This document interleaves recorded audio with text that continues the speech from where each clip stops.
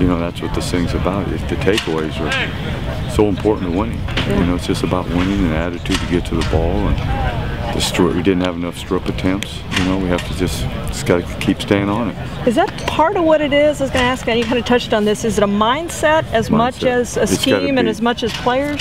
Mindset, effort, hustle, takeaways, mindset. It's always been that way in Tampa. You know? And just guys just constantly thinking of the ball. Even when you're tired, you just got to think of the football.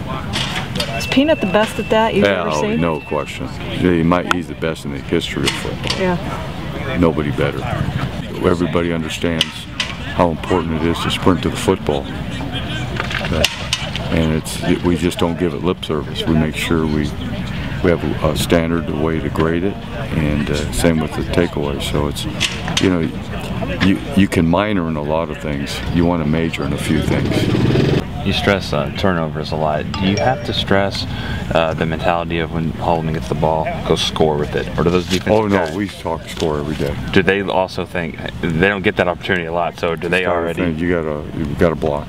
Yeah. Gotta block every down. You know, uh, because it can win a game for us. It can win games. That's everything we were doing is based on how do you win the game. Major in things that help you win. Do you look at the turnovers and say, "Man, we should have had two or three others that were Yeah, sitting there"? yeah. Missed opportunities. You know, you're never satisfied in that area. Want, you- want to be a bunch of thieves.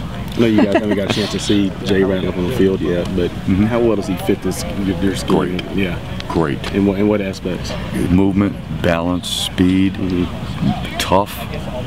He, he's got a great attitude toward work.